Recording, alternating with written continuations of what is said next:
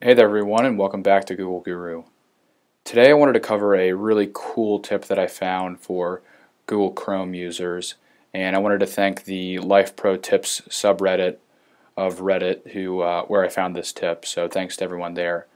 Uh, so this tip is going to allow you to disable those annoying videos and audio files that start playing whenever you go to a website or try and read an article. So I'll show you a quick example here at Forbes and you can see on the right this video is going to start playing with some annoying audio so obviously that's a little bit annoying. So to disable that I can click on the settings button at the top right corner of Chrome. And then it's off screen here but you'll click on settings.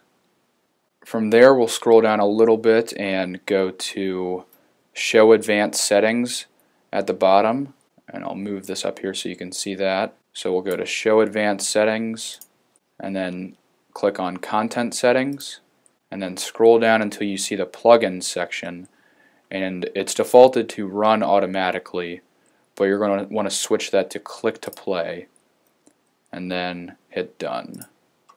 So when I go back to that Forbes website you'll see that the uh, the ads are grayed out and there's this little puzzle piece here. So sometimes this may accidentally break or disable a website where you actually want the video to autoplay.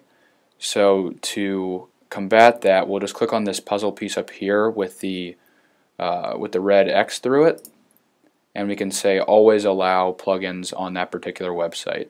And if you wanted to manage all of the websites where you allow these plugins to play, you'll just click on Manage Plugin Blocking, and you can whitelist some websites here.